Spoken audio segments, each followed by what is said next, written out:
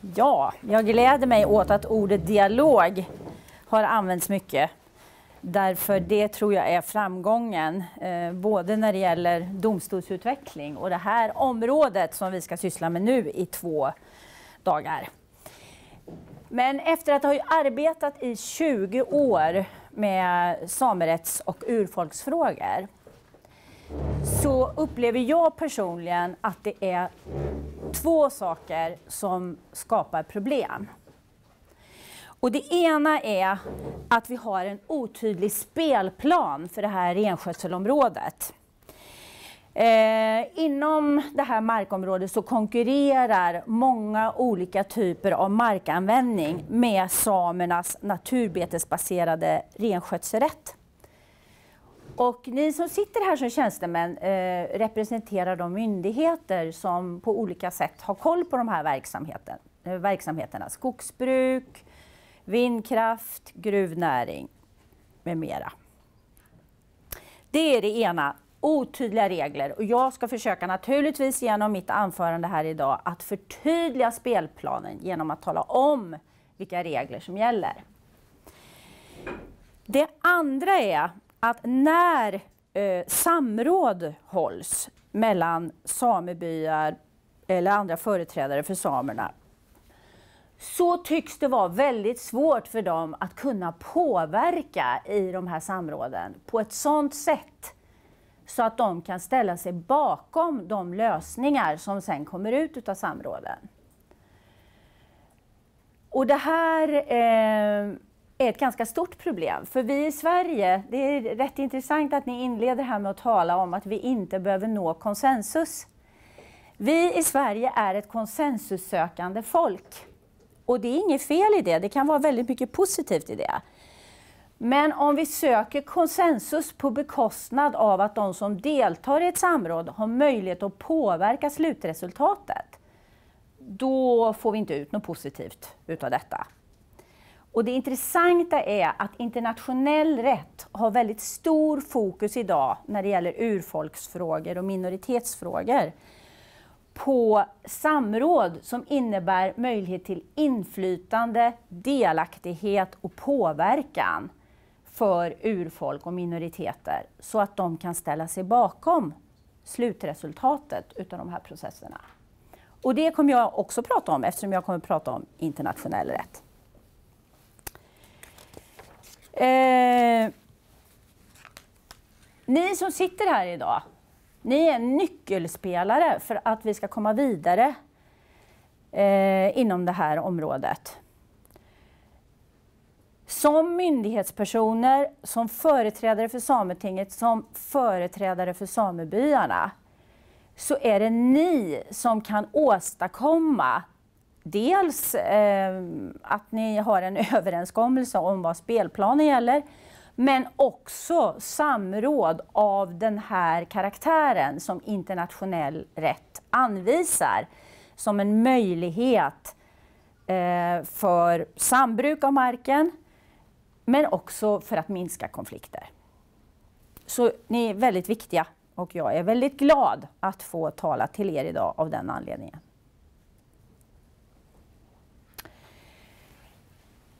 Marken inom renskötselområdet, eh, rättsläget och dialogen om denna mark.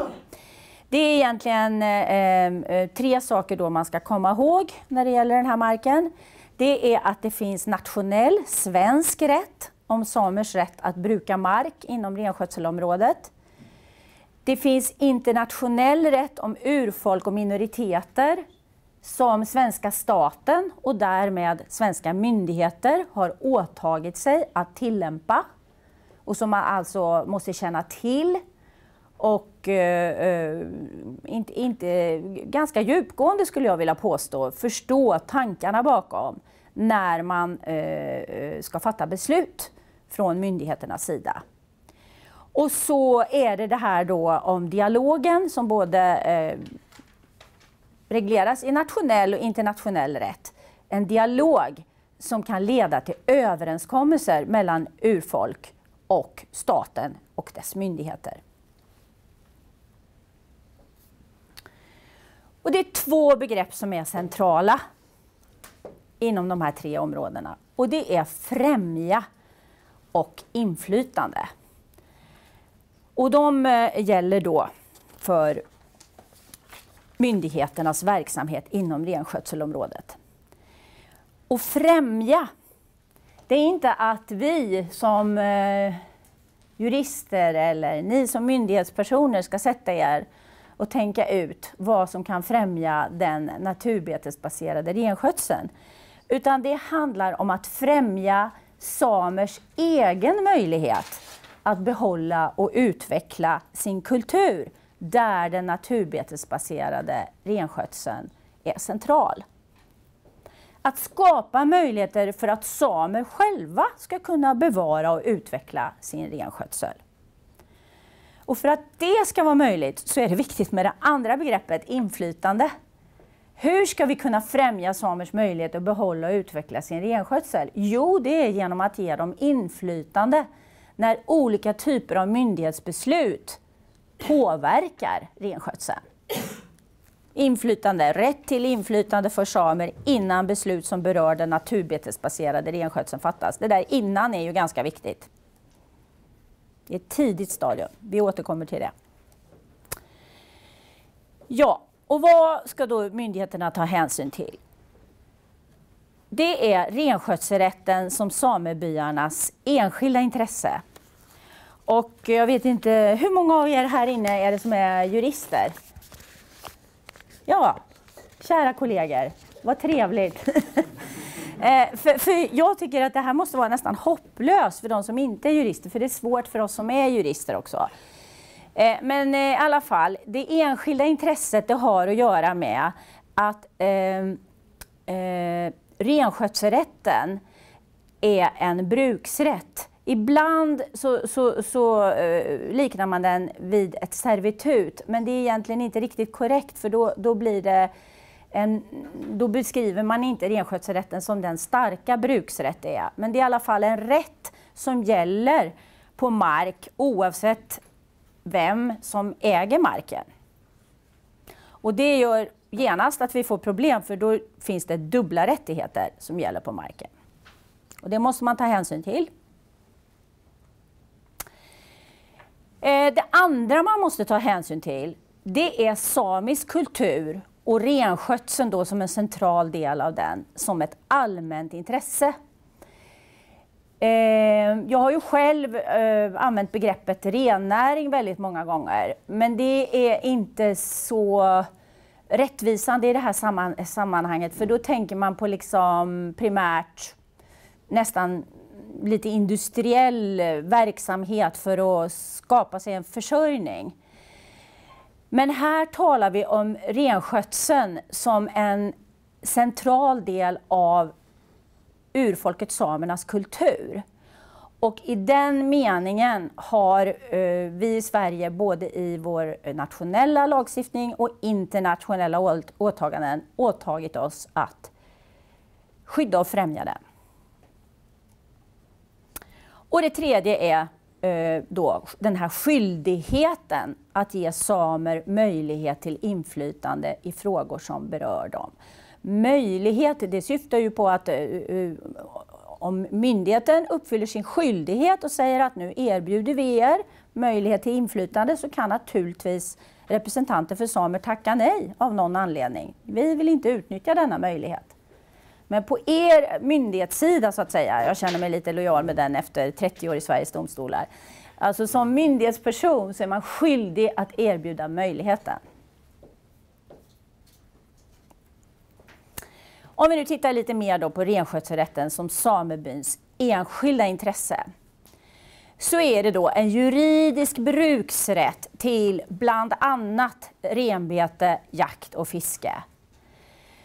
Och den vilar på urminnes hävd, det vill säga ett eh, gammalt sedvanerättsligt bruk utav marken för renbete, jakt och fiske och lite annat.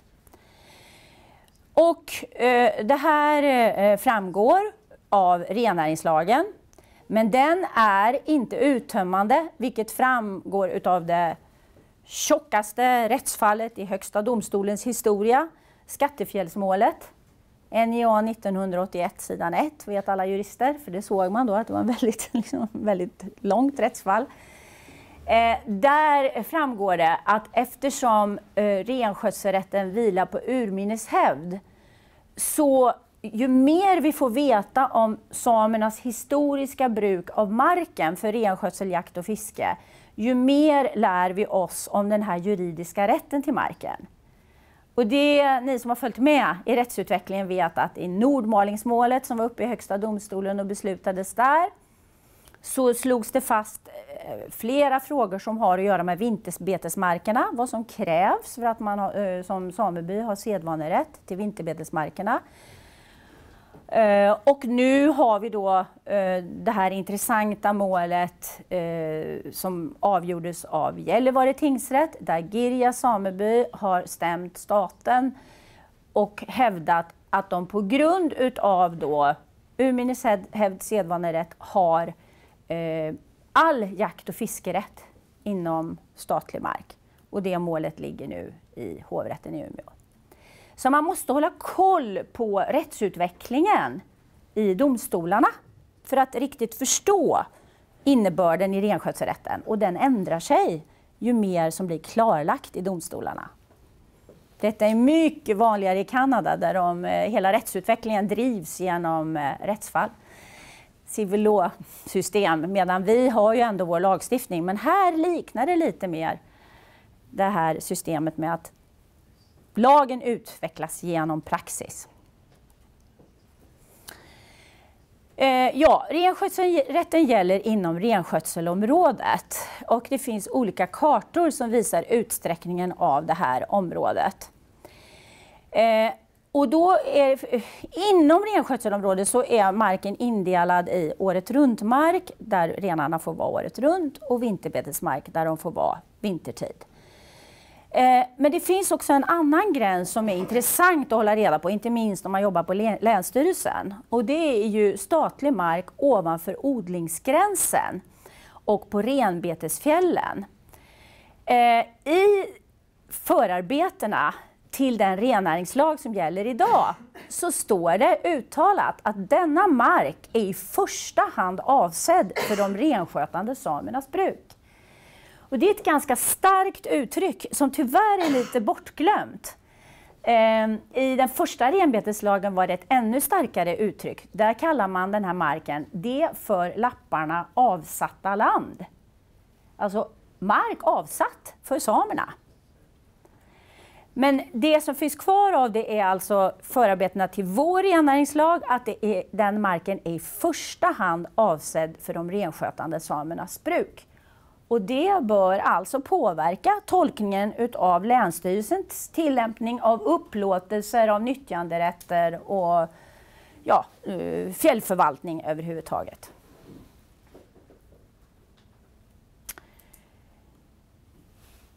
I det här första rättsfallet, skattefjällsmålet, så framgår det också att renskötselrätten skyddas liksom äganderätten av grundlagens eh, egendomsskydd. Och det innebär att man som myndighet eh, eh måste eh, respektera renskötselrätten och se till att man inte begränsar eller inskränker den på ett annat sätt än grundlagen tillåter. Och en väldigt enkel konsekvens av detta är att samebyn är sakägare. Och till min glädje såg jag nu när jag läste till exempel minerallagen att det framgår ganska tydligt där att samebyarna är sakägare. Ja, det är trevligt när det står rakt ut, men när det inte gör det så är det underförstått så. Här har ni en karta som jag har hittat då i eh, Sveriges nationalatlas eh, renskötselområdet. Och eh, då kan ni se här eh, året runt-marken som är eh, ljusgul. Det är, det är, ju lite missvisande för liksom, kalfjällen är ju gråa. Eh, så att det är både liksom, eh, kalfjällen längst västerut som är gråa och det gula. Och vinters, vinterbetesmarkerna är eh, markerade med lila. Och problemet är ju att vi vet ju inte exakt var vinterbetesmarkerna eh, markernas yttersta gräns går. Den här kartan visar dem på det här sättet.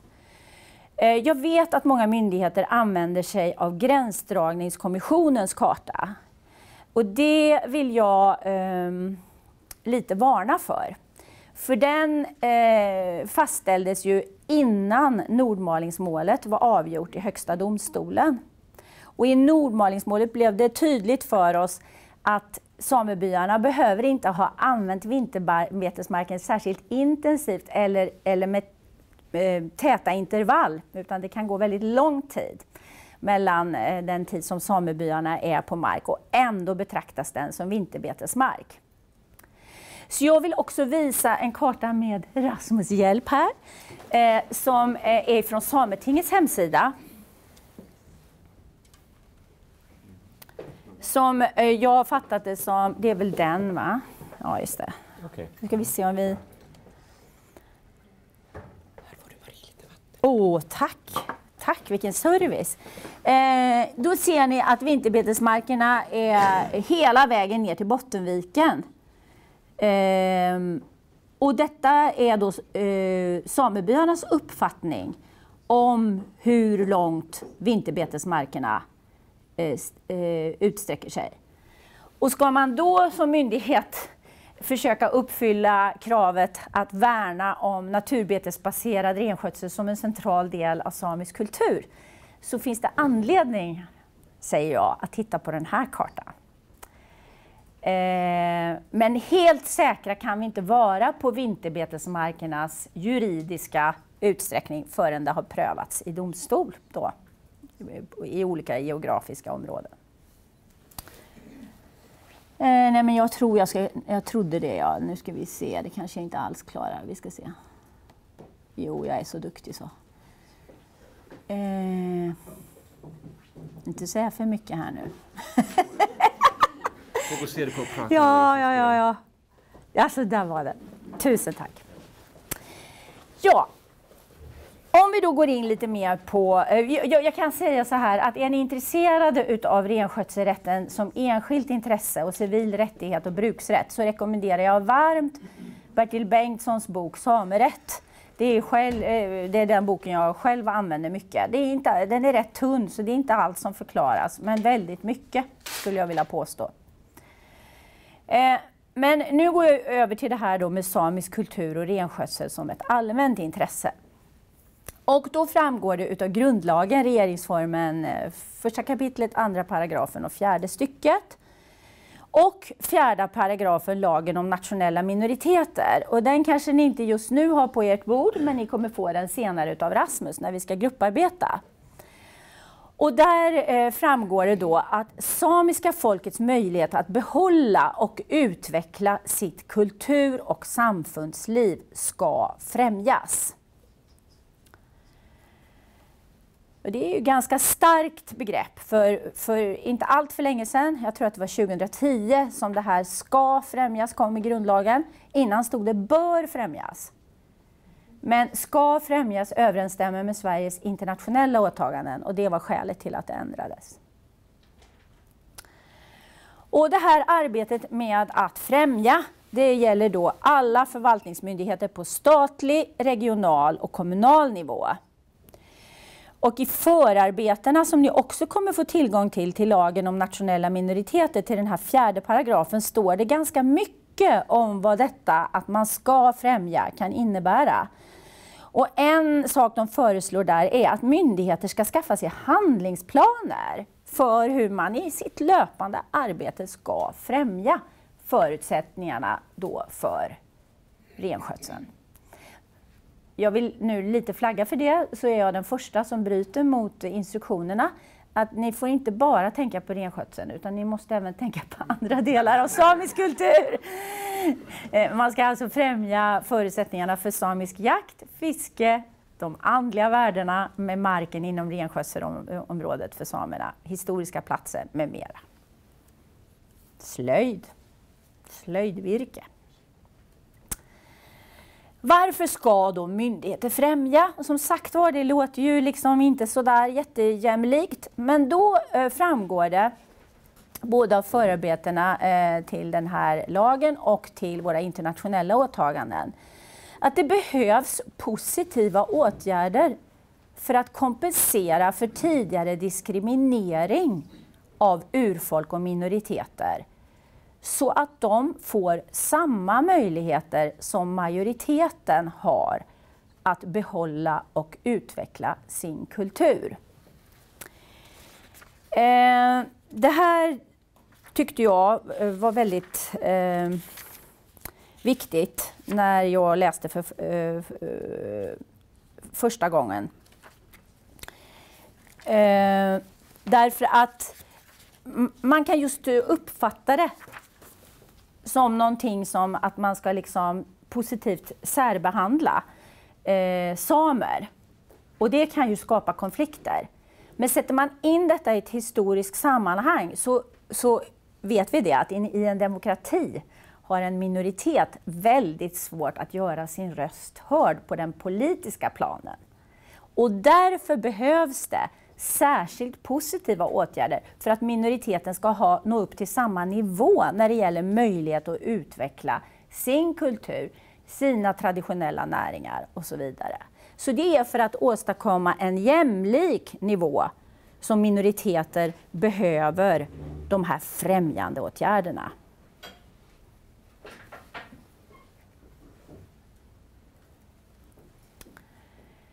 Eh, skyldigheten att ge samer möjlighet till inflytande i frågor som berör dem framgår utav femte paragrafen lagen om nationella minoriteter och minoritetsspråk. Ehm, och där står det, eh, citat då, förvaltningsmyndigheter ska ge de nationella minoriteterna möjlighet till inflytande i frågor som berör dem. Och bara för att ni inte ska sitta och grubbla på det här så går det mycket väl att både vara ett urfolk och en nationell minoritet. Eh, och eh, Europarådet eh, är väldigt aktiva när det gäller de här, eh, att följa upp att medlemsländerna följer de här bestämmelserna. Jag träffade dem 4 april i år i Stockholm där de var väldigt intressant, eh, intresserade av just hur det här med eh, att myndigheter ger samer möjlighet till inflytande i frågor, eh, hur vi lever upp till det. För där har Sverige fått kritik tidigare.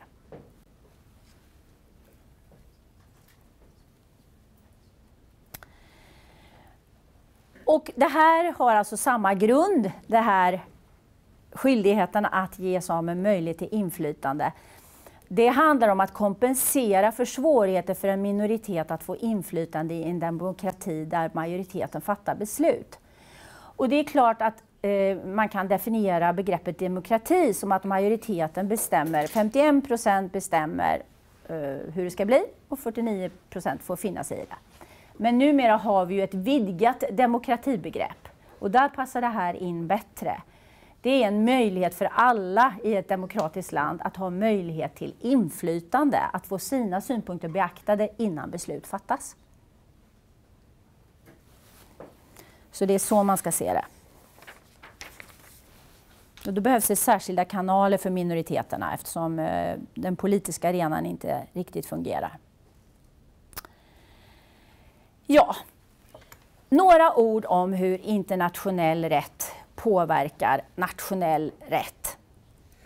Och där kan jag väl säga, jag som har jobbat eh, som domare då, att när jag började för 30 år sedan, då tittade vi inte särskilt mycket på inne, innehållet i konventioner som Sverige är bunden av. Eh, det var nog så att vi var relativt okunniga om eh, internationell rätt. Men detta har förändrat sig. Och idag eh, så är det på det viset att eh, vi har blivit duktigare och duktigare på att tillämpa svenska bestämmelser fördragskonformt. Och med det eh, menar man då att de bestämmelser som finns i eh, svensk lag så långt möjligt ska tolkas och tillämpas i överensstämmelse med Sveriges åtaganden enligt internationell rätt. Och därför kan jag säga att eh, det är ett väldigt gott råd när ni läser den här lagen om nationella minoriteter, fjärde paragrafen om främja och femte paragrafen om att ge eh, de nationella minoriteterna möjlighet till inflytande. Att också läsa ramkonventionens artiklar 5 och 15 som behandlar precis samma sak. Och nöjer inte med att läsa konventionen utan ni måste också läsa hur den tillämpas eh, bland annat av den här expertkommittén som reser runt och kollar tillämpningen i de länder som har ställt sig bakom den här konventionen. Och det finns länkar här på, på mina powerpoint-bilder så att ni lätt kan komma in på rätt sidor där. Man kan säga att det är tre huvudprinciper i internationell rätt som reglerar urfolks och minoriteters rättigheter. Den första är ju, eh, kan man tycka, eh, självklar nämligen icke-diskriminering av urfolks egendom, samma skydd för renskötselrätten som för andra medborgares egendom, till exempel äganderätten. Och det här står ju i skattefjällsmålet från 1981. Men tyvärr, mina vänner, kan jag tala om för er att det här slår inte igenom i myndigheters rättstillämpning i alla situationer. Eh, och det är klart att eh, det kan ju ha att göra med att man inte känner till innebörden utav renskötselrätten som bruksrätt eller det starka skydd den har. Det är ju så, vi, vi har ju inte kunskap om allt hela tiden. Men det är väldigt viktigt att bära med sig detta, att renskötselrätten har samma skydd mot intrång och ingrepp som eh, äganderätten. Gör ett liksom hypotetiskt prov i huvudet så, så hamnar ni rätt. Eh, ganska nyligen, jag kommer nu inte ihåg årtalet, det kanske Jenny kan hjälpa mig med, så var det ju tyvärr, eh, nu hamnar jag in där på jakträtten igen, men jag måste ta det exemplet. Alltså det är ju mycket konflikter kring älgjakten och detta var då i Västerbotten när en samebymedlem ville utnyttja sin jakträtt på privat mark. Och eh, det gillar inte markägarna ofta. Och då, eh, trots att samebymedlem har en rätt till det, så gillar inte markägarna det. Och då så gick Länsstyrelsen in och sa att du får bara jaga som samebymedlem om du har markägarens tillstånd. De har alltså satt upp en sån regel och den saknade ju då juridisk grund. Och då gick samebymedlemmen ut och jagade i alla fall. Och då blev han åtalad för jaktbrott. Och dessvärre måste jag erkänna att han blev dömd i domstol för jaktbrott. Tingsrätt. Men det överklagades till hovrätten och jag har ju jobbat i hovrätten förstås. Nej, skämt åsido. Men det överklagades till hovrätten och där rättades det till då. Men det här visar ju på att det är väldigt viktigt som myndighet att hålla reda på vilka eh, regler som gäller för renskötselrätten så att man inte hamnar snett. Sen är det ju som sagt så att det är inget lätt rättsområde så att, eh, att, att göra fel eh, kan man ha förståelse för. Men det gäller då att läsa in sig på det här. Ja, den andra huvudprincipen eh, det är ju då det här med särskilt positiva åtgärder för att samer ska ha möjlighet att behålla och utveckla sin kultur. Och skyldigheten att ge eh, urfolk möjlighet till inflytande när deras mark berörs. Och det är ju både då vinterbetesmarken och året runt-marken. När, när det står så betyder det inte att de äger marken utan mark där de har rättigheter.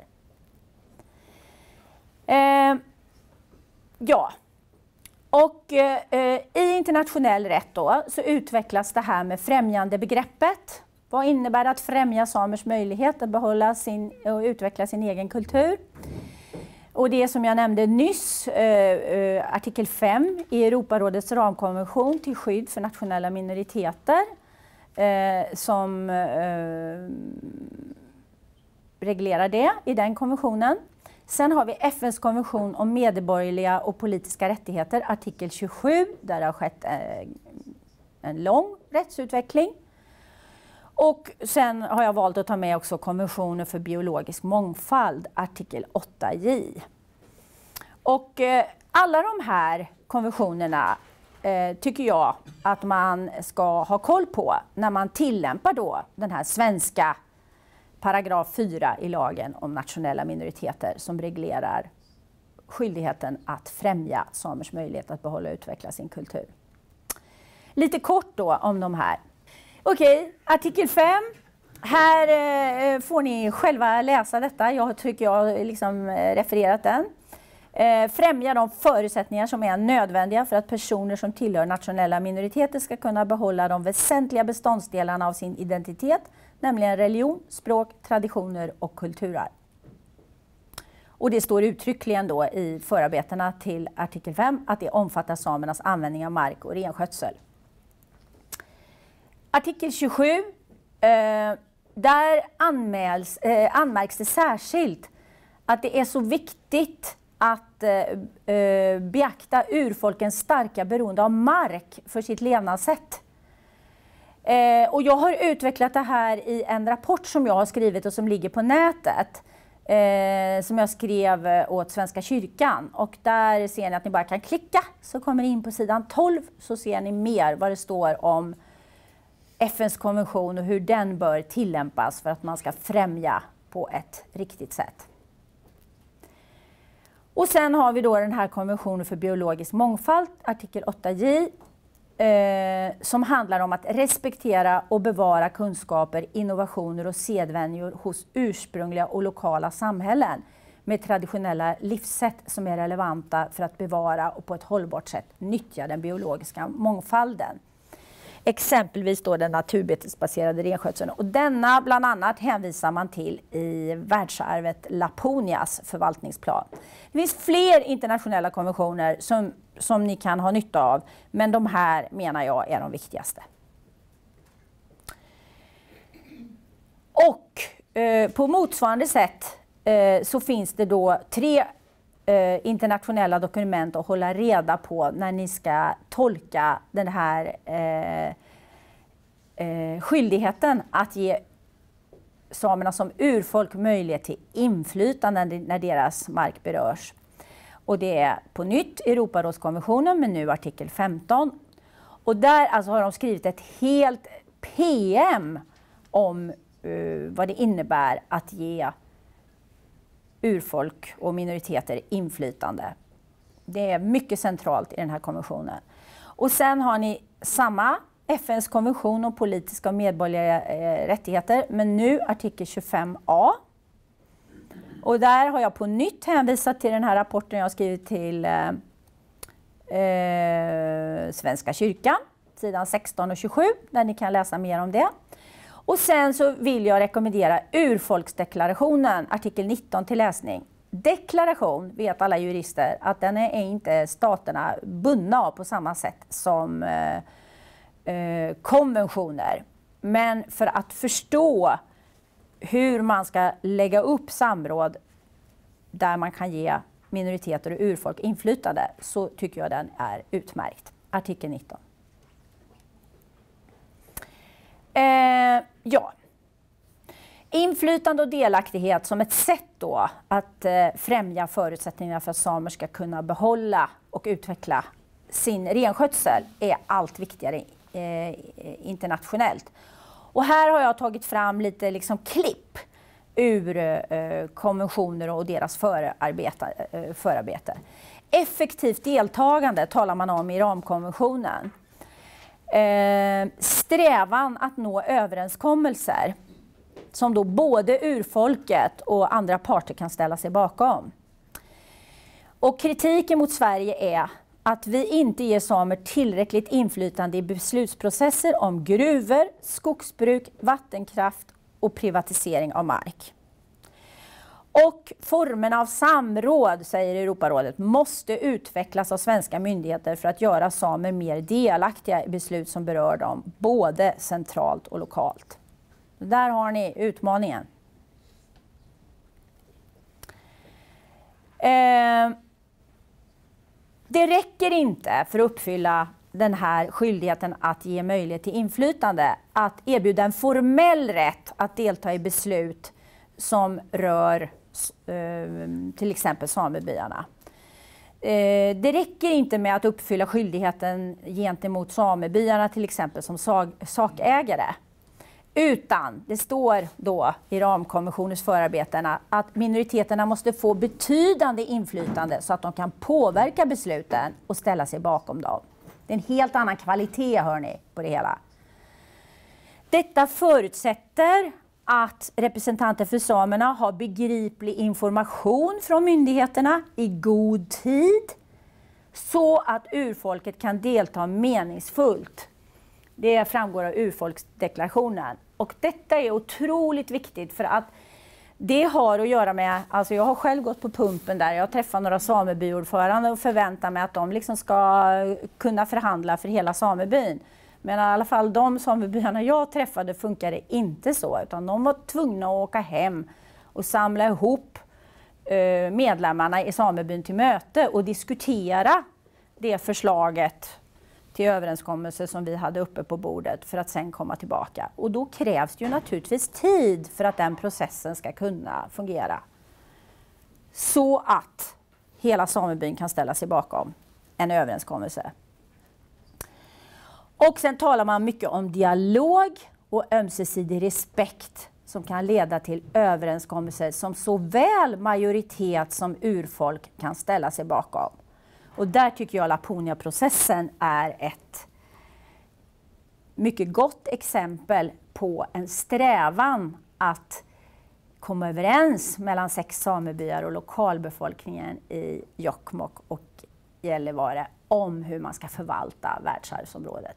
Sen inser jag att det inte är lätt att göra detta i praktiken. Men strävan finns och det framgår utav förvaltningsplanen. Och det är precis så som det anges i ramkonventionen. Jaha, samråd med vem då? Vem, vem, vem ska man samråda med? Eh, ja, alltså samebyn är ju då sakägare så det är ju viktigt att samråda med dem eh, för att uppfylla eh, skyldigheterna att samråda med dem som har eh, en särskild juridisk rätt till marken. Eh, men de är också företrädare för renskötseln och i den meningen då eh, den samiska kulturen. Så det är liksom, kan vi säga, dubbla roller där. Men sen får man inte glömma Sametinget då, för Sametinget är ju företrädare för det samiska folket och samtidigt den statliga myndighet som har ansvar för samisk kultur och, och, och rennäring. Så det var trippel, trippelroll som gör att eh, man måste enligt eh, paragraf 5 i lagen om nationella minoriteter och våra internationella eh, åtaganden samråda med båda de här och sen ska man tänka eh, på också att Sametinget bevakar riksintresseområdena och de behöver man ofta som myndighet eh, beakta. Så då hade vi en fjärde roll för Sametinget. Vad är det då man ska samråda om? Ja, i ett tidigt skede hur ett myndighetsbeslut kan komma att påverka förutsättningarna för renskötseln. Och så kommer det där om, och annan samisk markanvändning, men det pratar vi inte mer om. Utan vi fokuserar nu om på i första hand hur kan det här beslutet som vi nu eh, har i pipeline komma att påverka förutsättningarna för renskötseln. Och då är det ju särskilt viktigt med samråd på kronomark ovanför odlingsgränsen som, som eh, eh då är den här marken där de renskötande samerna har företräde till eh, användningen av marken.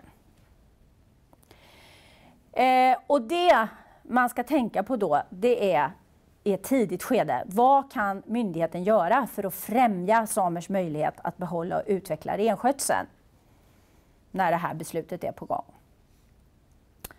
Och för att kunna besvara den frågan måste man veta lite om renskötseln, kommer jag till alldeles strax.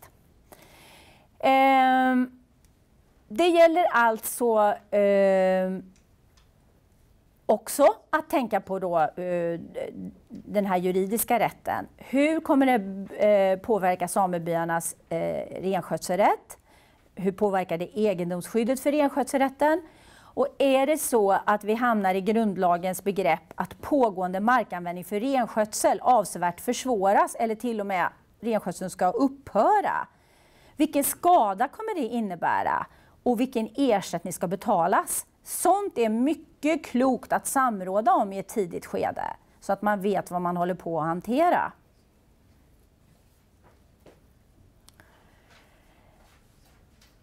Ja. Tänk då på när ni eh, planerar ett samråd att ge tillräcklig information eh, till samiska företrädare. Eh, att lägga upp samråden så att det finns en möjlighet för samiska företrädare att ha inflytande och påverka.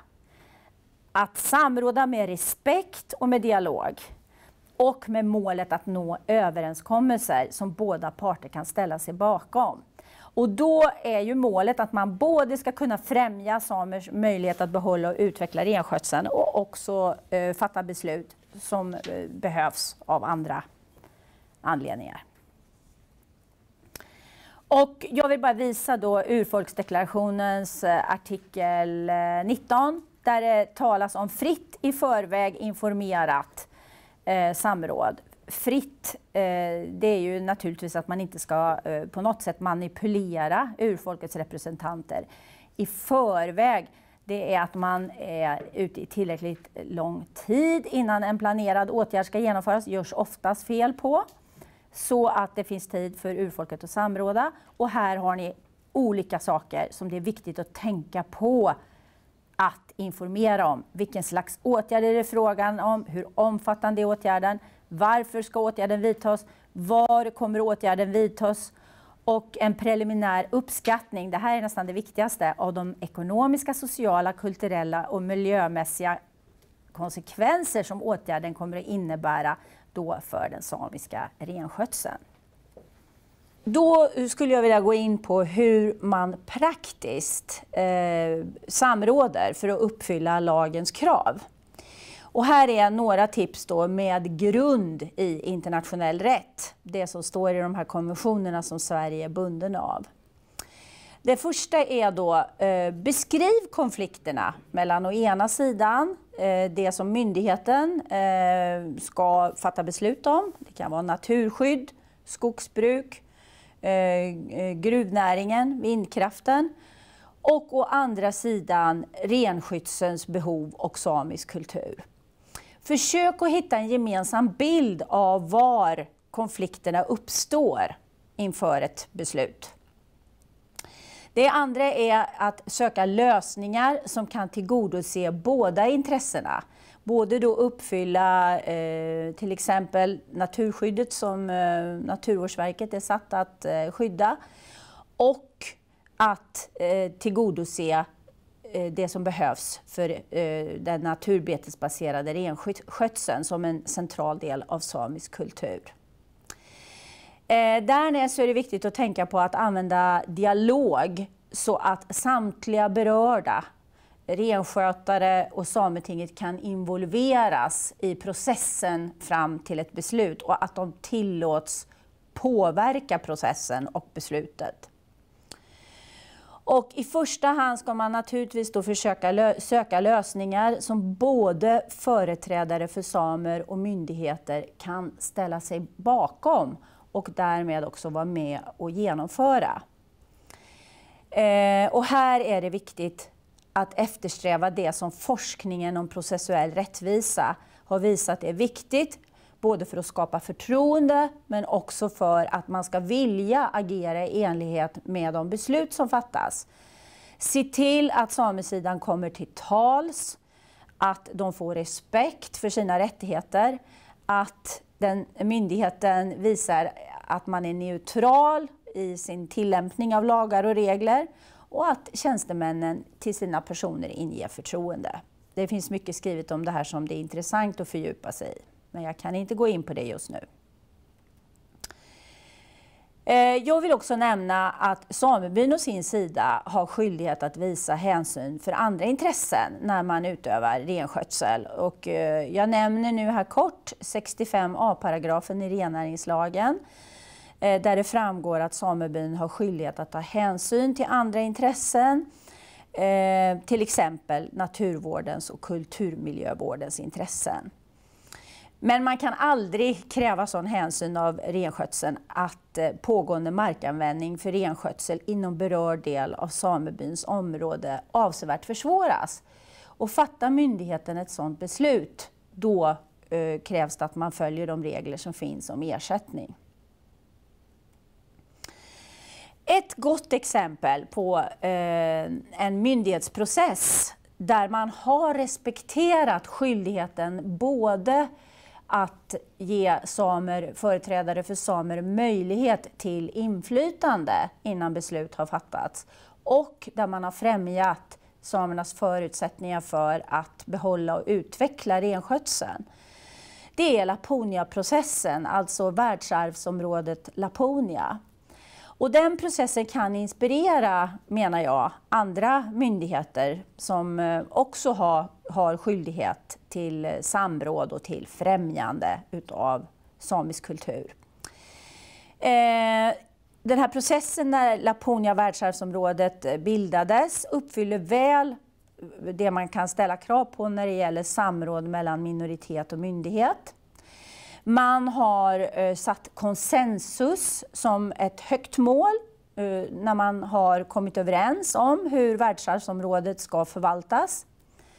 Man har en tydlig värdegrund som utgångspunkt och målet är att både natur, samisk kultur men också annan lokal kultur, alltså kultur från majoritetsbefolkningen i Jokkmokks och Gällivares kommuner, ska värnas och också kunna utvecklas vid sidan av den samiska kulturen. Och man har använt dialog som metod. Och jag eh, eh, uppmuntrar er att titta här i länken som jag har på den här bilden, sidan 15 och framåt, eh, där man beskriver hur man drev den här processen. Ett samrådsexempel som både varnar och inspirerar det är de samråd som ska ske mellan skogsbruket och samebyarna enligt 20 paragrafen skogsvårdslagen. Eh, när man har utvärderat dem, och de har ju pågått nu sedan 90-talet, så upplevs de flesta samråd av samebyar som information om planerade avverkningar utan möjlighet att påverka. Och då uppfyller de inte femte paragrafen lagen om nationella minoriteter och inte heller de här internationella kraven. Däremot skogsbruket, som är då den privata samrådsparten här, de tycker att hänsynen för renskötseln efter samråd eh, eh, Eh, är bra, men i sak redovisar de att de i mycket begränsad omfattning har tagit hänsyn till de synpunkter som samerna har lagt fram. Och då ser vi också en ojämlikhet här i samråden där den ena parten eh, inte låter sig påverka särskilt mycket och den andra parten upplever att man inte kan påverka. Och det uppfyller då inte lagens krav. Men det finns också undantag i skogsbruket där samebyarna är nöjda för att de anser att de har kunnat påverka i för renskötseln god riktning. Och de här goda exemplen har då Skogsstyrelsen som har ansvar för att se till att samråden uppfyller eh, svenska statens åtaganden. De har möjlighet att utveckla de här samråden i riktning eh, mot överenskommelser som båda parter kan ställa sig bakom. Och där hänvisar jag till en artikel som jag har skrivit och som ligger på nätet om samråd och hänsyn för renskötseln i skogsbruket. Där har jag skrivit om hur man kan eh, från Skogsstyrelsens sida utveckla dem så att de uppfyller kraven i internationell rätt. Vi får inte vika för den frågan att målkonflikter kan uppkomma. Eh, Statliga myndigheter bör undvika målkonflikter genom att söka lösningar där både samernas möjlighet att behålla och utveckla renskötseln främjas och eh, myndighetsbeslutet ändå kan fattas. Men ibland så eh, sker det att en målkonflikt resulterar i att beslut fattas som är negativt för renskötseln. Då är det väldigt viktigt att följa förvaltningslagens krav och motivera ett sådant beslut så att det kan överprövas av domstolen. Och vad är det då den här motiveringen bör eh, innehålla? Ja, bland annat är det väldigt viktigt att man har iakttagit renskötselrättens egendomsskydd så att man i beslutet redovisar vilka angelägna allmänna intressen som har gjort att man inskränker renskötselrätten. Men också redovisa på, på vilket sätt man har eh, försökt att främja förutsättningarna för fortsatt renskötsel och varför man då inte ansett sig kunna göra det. Sen ska man också tänka på i de situationerna att ersättning ska utgå om pågående markanvändning för renskötsel inom berörd del av samebyn avsevärt försvåras. Och det finns en del skrivet om detta i förarbetena till rennäringslagen, när man kan bedöma att det sker. Ja, och avslutningsvis, det är mycket viktigt att kunskaper och förutsättning, om förutsättningarna för naturbetesbaserad renskötsel finns. Det behövs nämligen för att myndigheter ska kunna fatta rätt beslut. Det behövs kunskaper hos myndigheterna för att eh, kunna eh, leva upp här till lagens krav, både om eh, Eh, när man behöver ge samer möjlighet till inflytande innan man fattar ett beslut och hur man ska kunna främja förutsättningarna för att samer ska kunna behålla och utveckla sin renskötsel. Eh, och några punkter här att hålla i huvudet är att det behövs kunskap för att kunna veta när ett beslut kommer att beröra renskötseln. Eh, och där är det framförallt kunskap om själva renskötseln för att förstå hur de använder och har behov av marken. Det behövs eh, kunskap för att kunna fatta beslut som innebär att samernas möjlighet att behålla och utveckla sin renskötsel främjas. Hur man ska kunna främja förutsättningarna. Det behövs kunskap för att kunna hålla samråd som kan leda till överenskommelser som både samer och andra parter kan ställa sig bakom. Det behövs kunskap för att kunna fatta beslut som innebär avvägningar gentemot renskötselrätten som enskilt intresse och samisk kultur och renskötsel som allmänt intresse. Och det behövs kunskap för att kunna fatta beslut om storleken på ersättning när renskötselrätten inskränks eller i värsta fall upphör inom ett område. Och det finns ju en del kunskap tillgänglig till exempel så finns det från Sametinget och SSR ett eh, dokument på Sametingets webbsida som handlar om samisk markanvändning och MKB. Det finns från SSR eh, eh, ett dokument som heter Renskötselanpassat skogsbruk där det framgår vilka hänsyn som är viktiga för renskötseln från skogsbrukets sida. Det finns ju forskning, bland annat på SLU, och framförallt så finns det ju renskötande samer som har kunskap om förutsättningarna för renskötsel. Och här har man ju naturligtvis både en möjlighet att anställa människor med sån kunskap hos myndigheterna eller att ta in dem för att utbilda myndigheten. Ja, då tar vi den här fina. Två fallgropar bör undvikas när man samråder.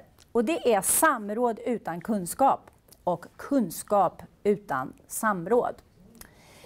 Och vad betyder då detta? Det här kom fram under ett Skype-samtal som jag hade med Kajsa och Rasmus. Eh, Rasmus och då kom vi fram till denna, eh, tycker jag, bra sammanfattning. Samråd utan kunskap från myndigheternas sida. Ja, om ni inte har kunskap om förutsättningarna för naturbetesbaserad renskötsel, då kommer ni varken att förstå eh, eh, vilka konflikter eh, som ni kan få i förhållande till renskötseln. Ni kommer inte förstå hur ni ska kunna främja förutsättningarna för samer att behålla och utveckla sin renskötsel.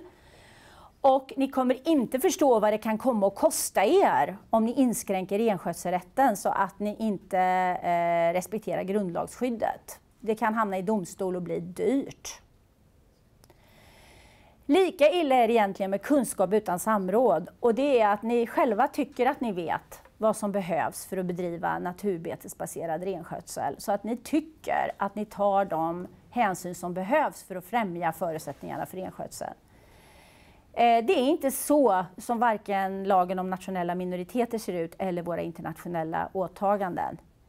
Ni måste eh, eh, ge samerna möjlighet att komma till tals med hur de vill att ni ska främja förutsättningarna för fortsatt naturbetesbaserad renskötsel. Så hur mycket kunskap ni än har så får ni inte glömma att öppna för den här möjligheten till inflytande.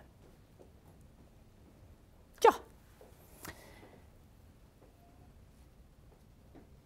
Där myndigheter ska sträva, ska samråda på ett sådant sätt att företrädare för samer har möjlighet till inflytande innan beslut fattas. Sträva efter överenskommelser strävar efter att främja samers möjlighet att behålla och utveckla sin kultur innefattande renskötseln och skaffa er kunskaper om förutsättningarna för naturbetesbaserad renskötsel och samisk kultur så att ni kan genomföra de här samråden på ett meningsfullt och riktigt sätt. Tack för ordet. Tack.